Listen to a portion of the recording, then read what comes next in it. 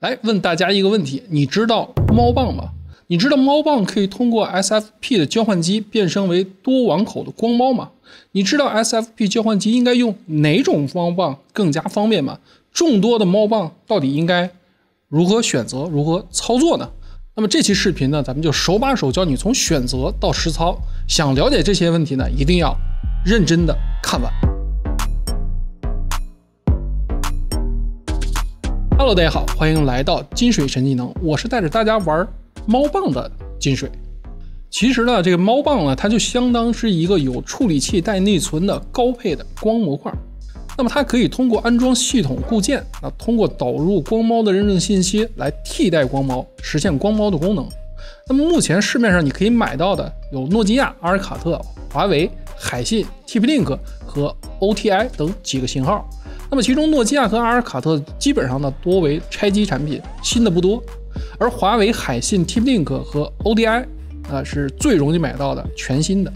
那这里面，诺基亚、阿尔卡特、华为啊刷好固件呢，基本上会在八十到一百二左右。那没刷固件呢，在小黄鱼上六十到四十就能买到。那么海信、TP-Link 和 ODI 的价格呢就相对比较贵了，基本上都是全新的。那全新的价格呢是两百到一两千不等。当然，这个东西不是越贵越好，也不是越便宜越好。那么选择猫棒之前呢，要看你家的网络是属于哪一种类型。那你可以通过你家的光猫背后的贴纸，能看到你家的网络类型。那么目前三大运营商呢，基本上只有两种情况，一种情况呢是一胖，另外一种呢是鸡胖。如果你家的是一胖，基本上只能选择海信或者 OTI 这种成品的猫棒。而且支持一胖的二点五 G 光猫，基本上呢它是跑不满千兆宽带的，只有一点二五 G。那么如果你想突破千兆带宽，而且呢又是一胖，那么你的选择只有十 G，也就是万兆的猫棒了。那么目前最好的选择呢，也只有海信这么一种，而且呢价格非常的贵。那么如果你家的光猫是鸡胖，那么恭喜你，你可以选择的就相对比较丰富了。那么便宜的诺基亚、阿尔卡特、华为。那稍微贵一点的 TP-Link、OTI 都是在可选之列。那金水用了现在市面上绝大多数，大概五六种的猫棒。那这里面 ODI 的双模型号的兼容性呢尤为的突出。而且呢，我发现网上相关 ODI 的教程呢是非常非常的少，即便有也做的不是太完整。那这期视频呢就教大家如何使用 ODI 的猫棒，通过 SFP 的交换机突破千兆的网络现实。那么当然，你也可以通过其他的设备，比如说光电转换盒，或者是带 SFP 的路由，甚至是 SFP 网卡，都可以实现同样的功能。首先呢，我们需要做的是先获取光猫的认证信息，因为我们要把这些信息写入猫棒，从而让猫棒伪装成光猫，来通过运营商的认证，那实现光猫的功能。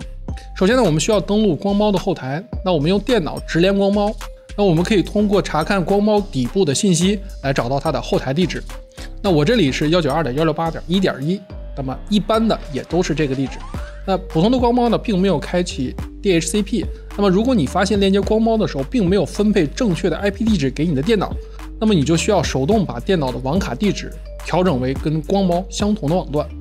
设置完成之后呢，我们打开电脑的浏览器，那输入幺九二点幺六八点一点一，那我们开启光猫的后台。这里就可以看到登录界面了。这时候呢，要输入超级管理员的用户跟密码。不同的运营商和不同的区域可能都不太一样。那我给大家整理了三大运营商常用的超管用户名跟密码。那么大家可以自己先尝试一下。那如果尝试不成功的话，你可以咨询本地的运营商，或者找宽带师傅用实力解决。来到光猫的后台，我们需要找到这么几条信息。但是在这儿呢，要给大家说明，那不同的运营商可能需要的认证方式不同。电信呢，主要用 L O I D 认证为主，而移动呢，除了 L O I D 的认证，还需要 L O I D 的密码认证。而中国联通是最那个的，那么不但需要 S N 码，而且需要 MAC 地址双认证。那么这些信息呢，其实不用担心，都可以在光猫的后台找到。那么剩下的你只需要注意如何选择适合你的猫棒就好了。好，我们来到光猫的后台，找到状态网络测信息，我们就可以看到 Internet VLAN 的 ID，我的是四十一，我们把它记录下来。然后我们来到网络远程管理逻辑 ID 注册，这时候呢，我们就可以获取我们的逻辑 ID，也就是 IOO ID。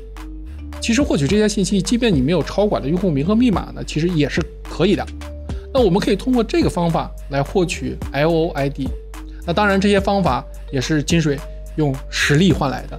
那么时间有限，在这儿呢，咱们就不展开细说了。那下次猫望相关的视频呢，再跟大家详细的说明。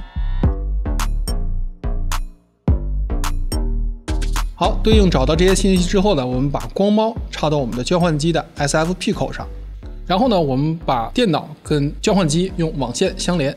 我们来到电脑，打开浏览器，输入幺九二点幺六八点一点一，这样呢，我们就可以进入 ODI 猫棒的后台，它的用户名和密码都是 admin。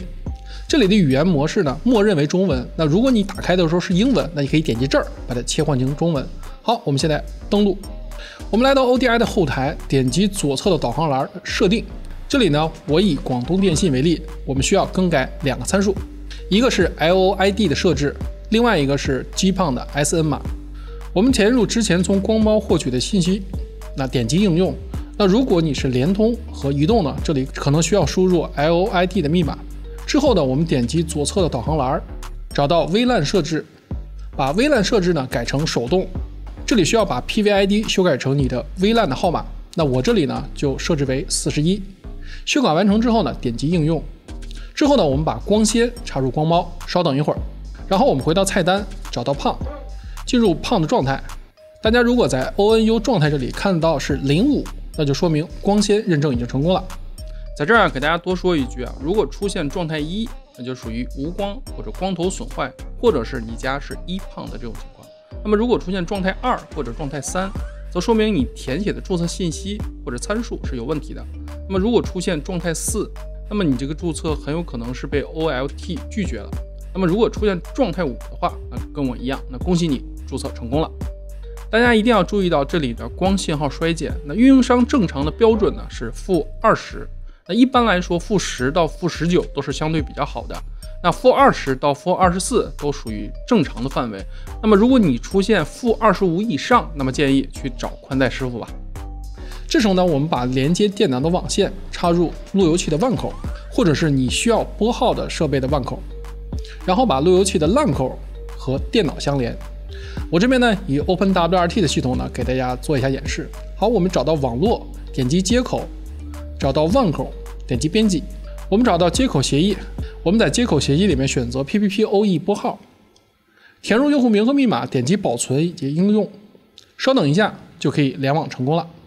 那如果你碰到这种情况，就是你已经完全设置好了，但是确实无法拨号联网，那么你需要去我们猫棒的后台，找到左侧的导航栏备份跟恢复。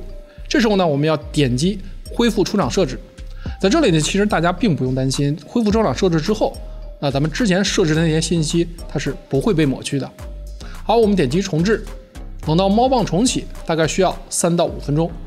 猫棒重启完成之后，或者等了一段时间，我们就可以来到猫棒的后台。大家可以看到，这个之前我们填的信息还在。那这时候呢，我们查一下胖的状态也是正常的。之后呢，我们来到路由的后台，那我们可以看到这些信息呢已经显示联网了。那万口的信息呢也是表示拨号已经成功了。并且成功的获取了运营商下发的 DNS，这就说明呢，我们已经拨号 OK 了。这次我给大家演示 ODI 的猫棒是二二年九月二十三号的版本，所以呢，它是无法实现猫棒拨号的。那么如果有小伙伴想用猫棒进行拨号呢，其实也是可以实现的，不过呢，要升级一下固件。那这种玩法呢，其实是有一定风险的，小白用户呢要谨慎操作，操作不当呢，非常容易变砖的。接下来呢，我们来到 GitHub，搜索 RTL 九六零叉。我们在搜索结果中找到这个项目，那不出意外呢，应该是第一个。进来之后呢，我们来到项目页面，然后往下拉，我们可以找到 ODI DFP 杠三四叉这个项目。然后我们找到二二年十二月零九号的这个版本，进入，我们点击 Download 下载。大家要注意啊，下载完成之后呢，应该是一个 TAR 后缀的文件。那下载完成之后呢，我们同样来到猫棒的后台，找到系统管理，我们找到固件升级，在这儿呢点击选择文件，找到我们刚才下好的这个固件。大家要注意，这个文件的大小应该在三点八兆左右。那么如果太大或者太小呢，都有可能是下载不完全造成的。好，我们在这选择完文件之后呢，这里会看到我们选择的文件名，确认无误之后，我们点击升级。进入刷写阶段之后呢，大家一定要注意，千万千万不要断电，或者是在它的后台做其他操作，以免刷写失败。那整个过程呢，大概会在三分钟左右完成。那完成之后呢，它会自动进入重启，然后进入猫棒的后台。那如果大家的页面也会出现报错或者响应过长的这个时间呢，其实大家是不用担心的。那我们不要刷新这个页面，重新开一个新的页面，然后我们登录猫棒的后台。默认的用户名和密码呢，其实还是 admin。那么看到这个画面呢，其实就说明我们的刷机已经成功了。相信大家都可以看到，这个版本的 UI 跟之前呢是有明显的差距。它的导航栏呢，直接从左侧移到了顶部。我们可以从状态栏里直接看到它的软件的版本号是 V 一点二点二，是二二年十二月九号的版本。刷机完成之后呢，我们需要重新填写一下相关的信息。好，首先呢，我们来到系统管理，填入 LOID 等信息。然后我们来到广域网，勾选启动 VLAN，啊，填入相应的数字。那我这里还是填四十一。模式这里呢，如果你想用你的路由器拨号，那么这里默认选择桥接。那如果你希望用猫棒进行拨号呢，则需要选择 PPPoE。然后呢，我们选择 PPPoE，完成之后呢，我们选择业务类型，那默认 Internet，然后填入相对应的信息。下面呢，要勾选端口映射，然后点击应用。最后呢，我们重启一下光猫。重启完成之后呢，就可以在状态栏里看到广域网的配置下面，我们的光猫已经获得了正常的 IP 地址和网关，这就说明呢，我们的光猫拨号呢已经成功了。如果大家发现自己的猫棒协商速率出错在一 G 左右呢，如果碰到这种情况，建议大家多拔插几次就好了。